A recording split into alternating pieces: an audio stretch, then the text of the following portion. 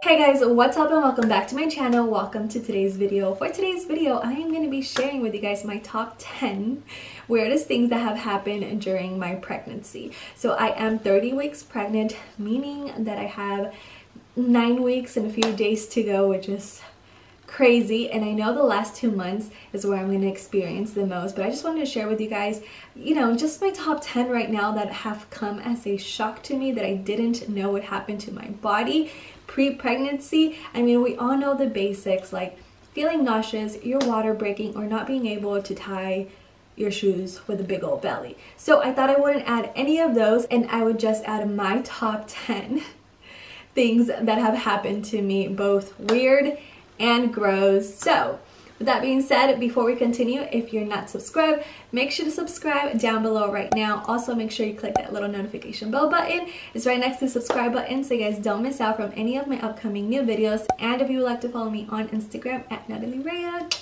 that's how you can find me. So number one on the list is the black line.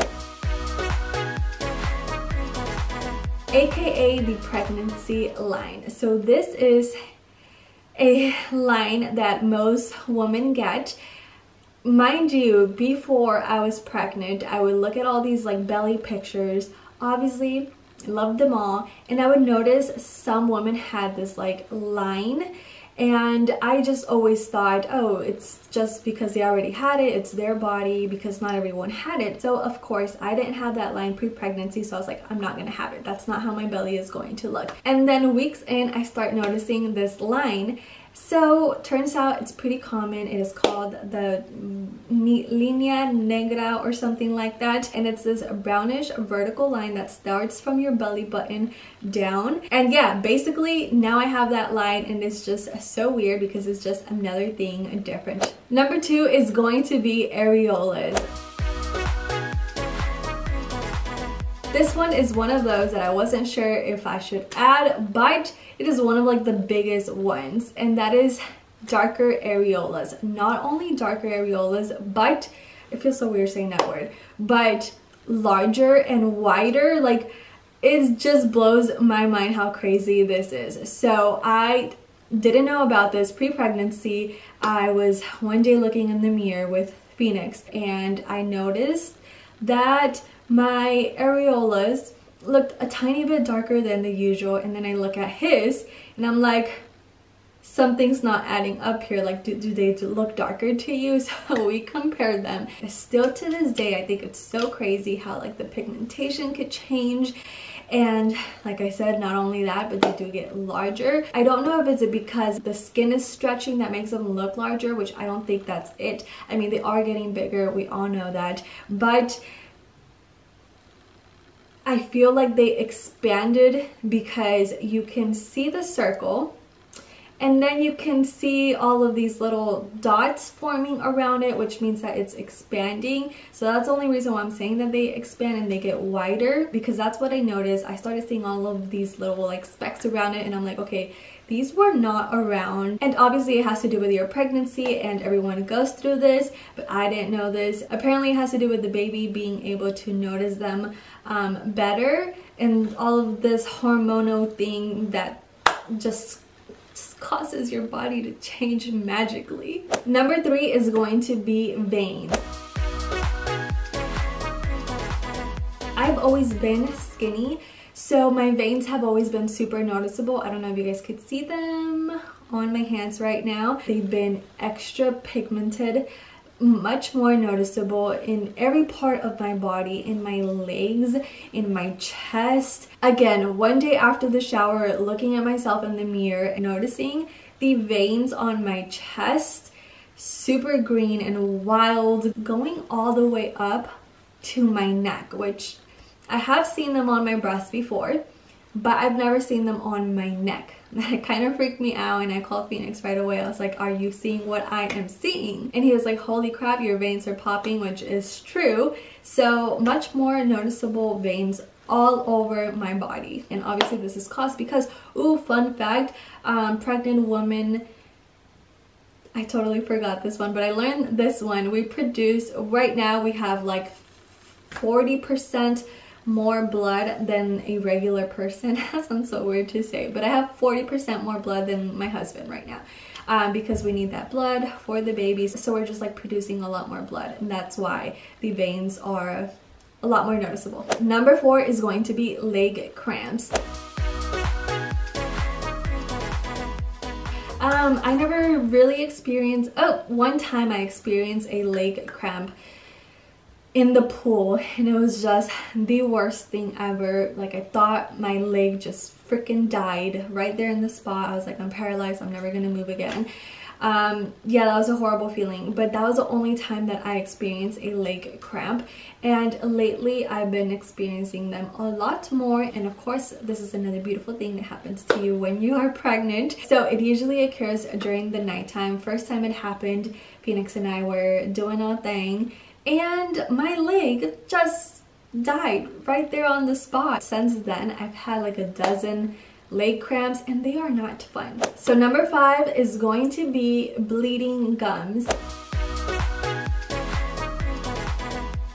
Now, let me warn you, this is a, a gross one. Um, I don't want to talk about it because it kind of just like, for some reason, it disgusts me.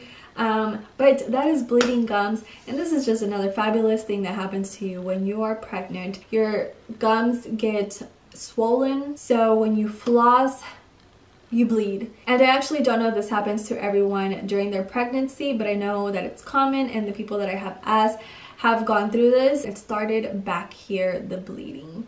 And I was like, oh god, I need to go see a dentist, like what's going on? Then it continued to the center, the bottom, the side, the side, and I was honestly embarrassed because usually when I floss, I'll Phoenix walks in and out the bathroom. So he sees me like brushing my teeth and flossing and all of this. So I started noticing like all of this blood and I would try and hide it because I thought it was gross because obviously when you bleed it means that your gums are unhealthy you know? So I read about it I told him and I was like okay now this is just wonderful. You know my gums are bleeding extra now. And I'm sure he understood but he still found a way to make me feel bad about it. Like oh you need to go see a dentist. Which it is recommended for you to go see a dentist and get a cleaning while you're pregnant because your gums are like swollen and everything like that but this is something that goes away after pregnancy so I am definitely looking forward to that one because um, bleeding gums is not fun and it just, it just, it just grosses me out. Number six is going to be blurry vision.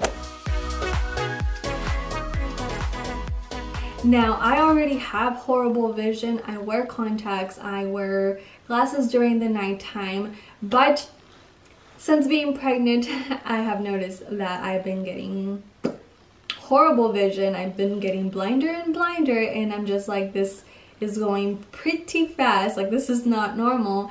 Usually when I take off my contacts during the nighttime, which is always like around 9 p.m., I do just fine getting around and I don't always wear my glasses because obviously I'm in my home, I know where everything is. But now I'm like stumbling all over the place, bumping into walls. So that's when I was like, okay, this is not normal. Again, I googled it and it's another thing that happens to you when you are pregnant.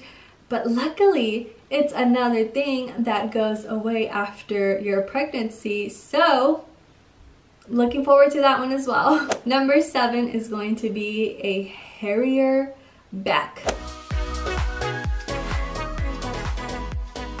This is another one that I think it's a little bit gross and weird um, because obviously everything's changing in our bodies. Everything's getting darker um, and wider. I don't know if it's just my hairs that have gotten darker or I have gotten hairier. I don't know, but I started noticing this one around the three month mark.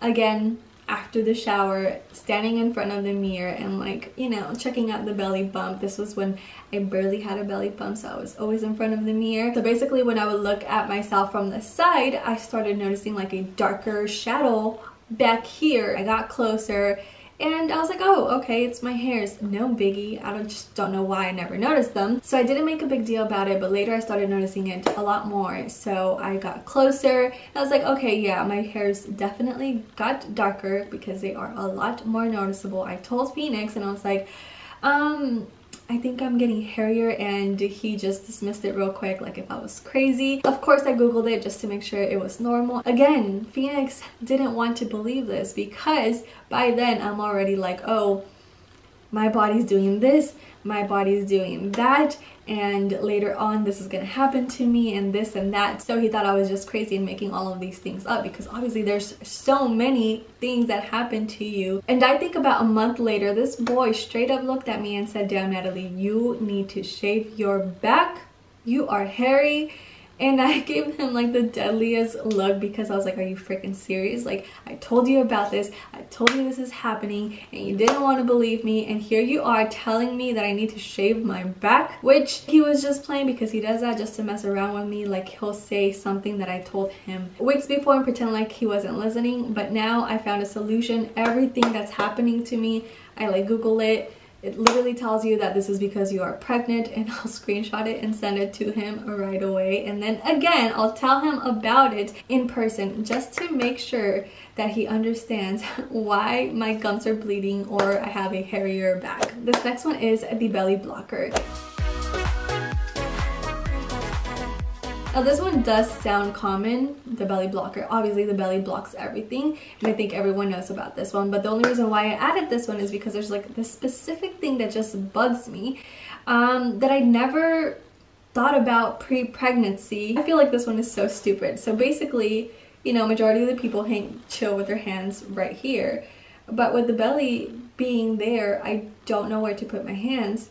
So, you know, I bring it up just, just a tiny bit just so it could like sit on the belly but I feel like I'm applying so much pressure to my stomach that I hate it. I don't I don't want to do it. So then I do the whole, you know, like you know, go over the belly, but then I feel like my hands are like sticking out like this. It, it it's just it's just so weird. Something that I didn't know that I had to deal with. Like what what am I supposed to do with my hands? This next one is also going to be a little gross one and that is burping.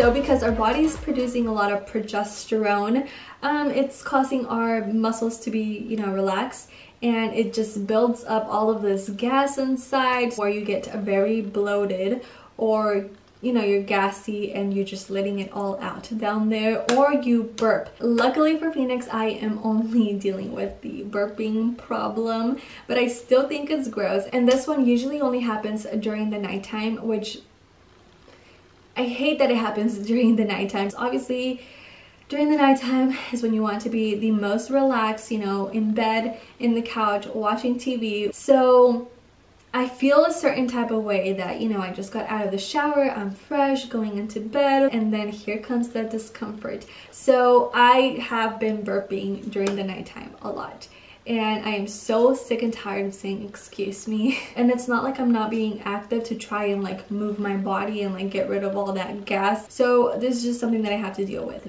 but it's it's a gross one. The last one to the list, number 10, is going to be pelvis pain. This one, not everyone feels this one. Not everyone goes through this one. This one's probably the most, it's common but it's the most uncommon. like everyone that I have talked to hasn't really experienced it. All the other ones, about half of the women go through, maybe even more. This one is, I believe, just one third. So like I said, this is the pelvis pain, aka pubic bone pain. It can also be known as SPD, SPD, yes, symphysis pubis dysfunction, something like that. It's a weird one and I hate it. So if you're pregnant, we all know about the round ligaments stretching so you get this pain in your stomach like on like on the v shape of your stomach so I knew about this one and I did get this pain and obviously right away I was like, oh, this is common. This is something that I have to deal with.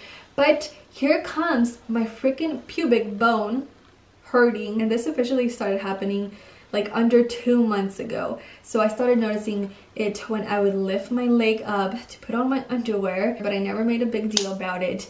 Um, a week passed by, maybe even two weeks, and then the pain really really hit where I couldn't move my left leg without wanting to cry. So when I first started feeling this pain I would immediately like touch my pubic bone because that's where the pain was coming from.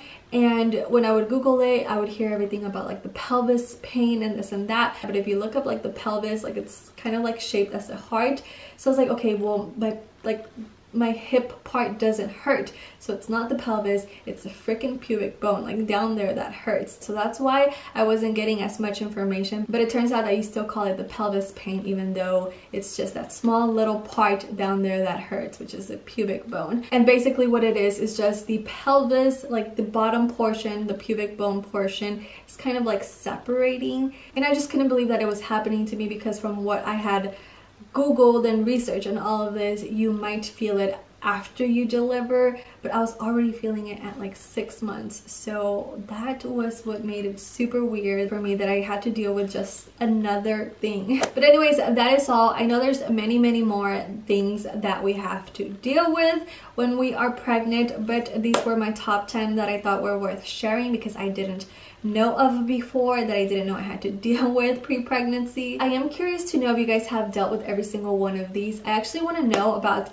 the last one. If you have dealt with the pubic bone, pelvis bone pain, let me know. And also let me know if there's more that you guys have experienced that you guys think are weird or gross. I like to hear them out because I still have two months to go and I know that my body's about to go through a lot more. Today's shout out goes out to Nana G. Shout out to you and if any one of you guys will also like a shout out all you have to do is make sure to be subscribed and comment anything your big heart desires. I love you guys, so I hope you guys enjoyed this video. If you did, don't forget to give it a huge thumbs up. Subscribe if you're not subscribed subscribe to join the Raya family and I'll see you guys soon. Bye guys!